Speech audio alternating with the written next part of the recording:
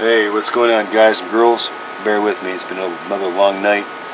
And it'll be another long day too, it looks like. I feel as though I kind of left you hanging on that last Fat Boy amp. I'll put the camera down here in a minute so you can see everything. But uh, these variables, you'll see it in a minute, are nothing but a pain in the ass. Period.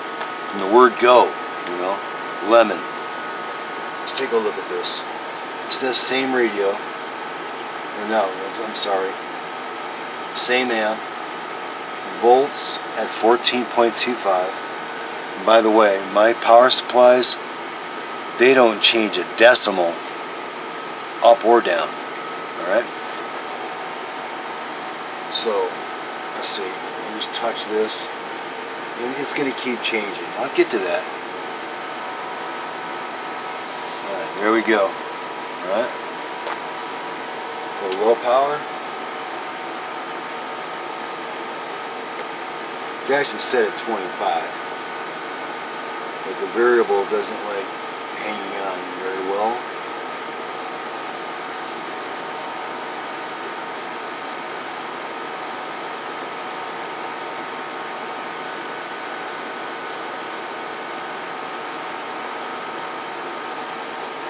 Yeah, believe it or not, that's a Class C. Alright, let's take a look at 30 megahertz. Back to high power.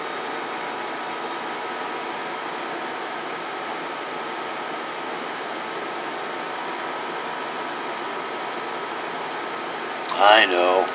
You want to see the meter go woo woo woo, right? Hold on turn that radio up. We don't squeal. Alright, there we go. 4, 5, 6, 7, 8, 9, 10. Breaker, breaker, breaker. Audio.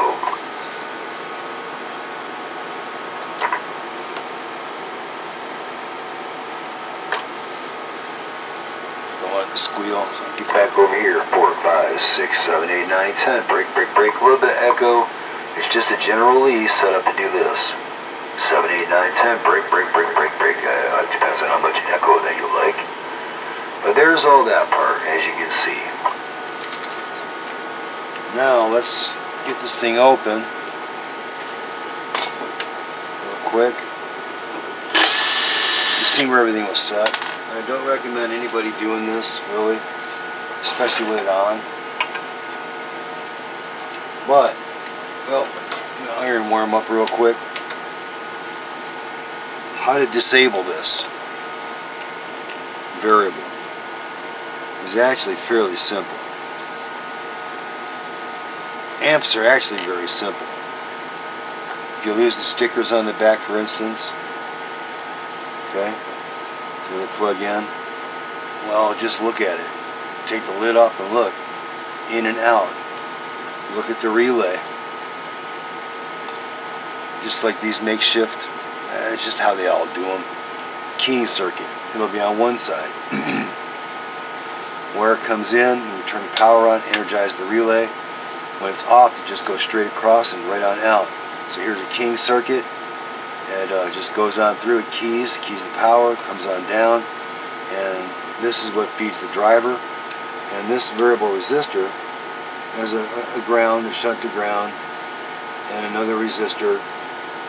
The type of resistor is very important. Let me turn the camera. It makes it difficult when I can't see everything at the same time. But uh, if you want to disable this and not smoke anything, you could change the input tune. You can do a lot of different things. Iron ought to be warm. This is all you really got to do is my head in the way.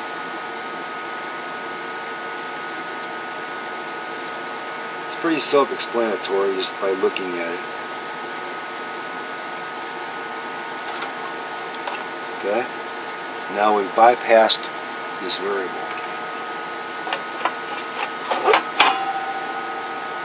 a screw in it so it has a fan.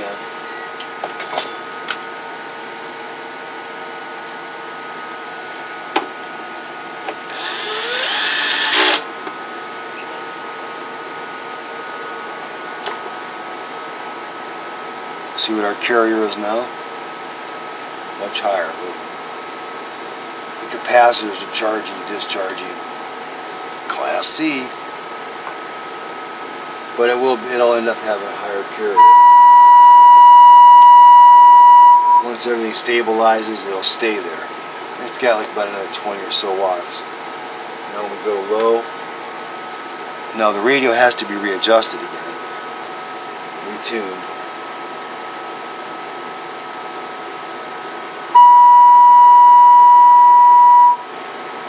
You can see what just a couple of watts do. Now this one when it's set up, and it's going to end up with a General Lee. It'll be set up at like low power 25 watts and high power 100 watts. It's going to be a little bit high now, as you can see.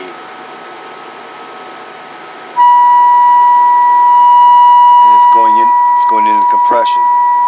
Shut that off. Just that little bit. See how it's climbing? Once it gets to its normal temperature, normally that's where I tune everything, warm, it'll settle down. But without the variable, there's no fluctuation and it isn't doing any weird kind of shit. Way more stable. There's this misconception or idea that people have, I guess, in their head that they think that if they get a variable, that they can just start switching shit around, you know. It don't work that way. You can't do it. If you don't have the test equipment, and know what you're doing, you're never going to get it right. You might maybe get in the baseball diamond of a football field, but it's like a selling point. I know a lot of guys put these on there. I wish you wouldn't.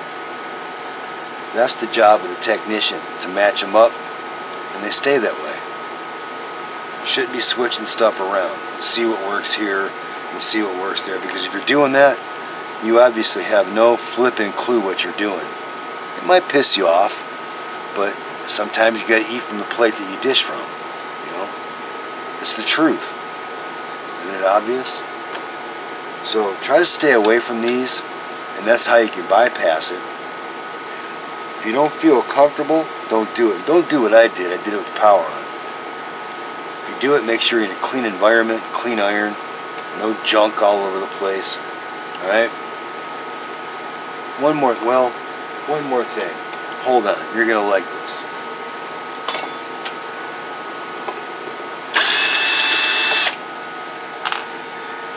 So if you stay tuned in to the end of the video, you'll be more educated than the rest of them that thought they knew everything. Alright, uh, okay. Let's get the face of it in there. This out of the way. reconnect the variable.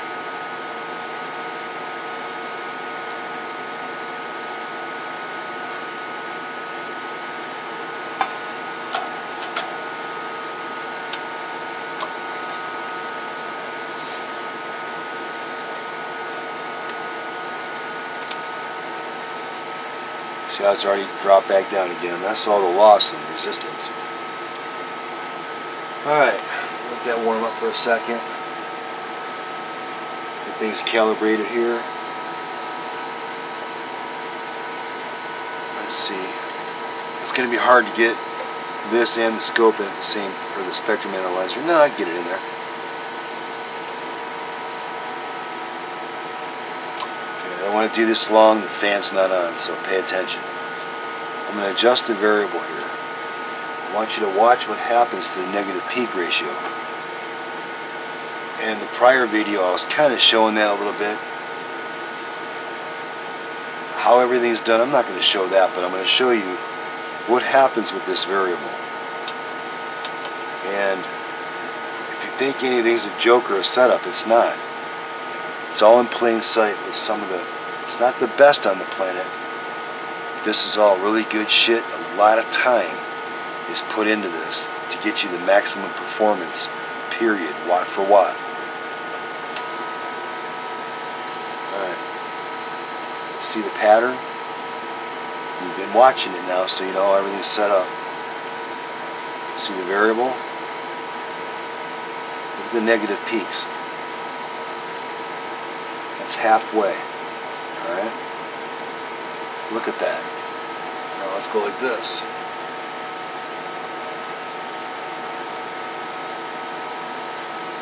What are you going to do with that? Get walked down by half the power and splatter all over the place? Let's take a look. Splat. Let's turn it down some more.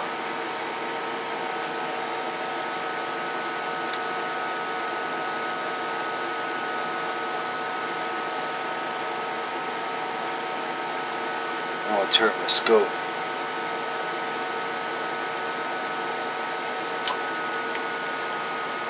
I'm not trying to discourage anyone from anything. Just trying to educate you a little bit. I'll put a little bit of voice into it. One, two, three, four, five. Six, seven, eight, nine, ten. You might even think, oh, it doesn't sound too bad. It sounds like dog shit is what it sounds like. I just splattered. Here, let me turn my little Ranger channel 21 now. Two, three, four, five, six, seven, eight, nine, ten. One, two. Splatter right off. It's just all wasted power. You just can't. AB biased or properly biased, you would be able to turn a variable. That's true. On a class C, without a bench, you can't do it. Alright? You can't. Nope. Turn it back up. Well, I'll start from the bottom.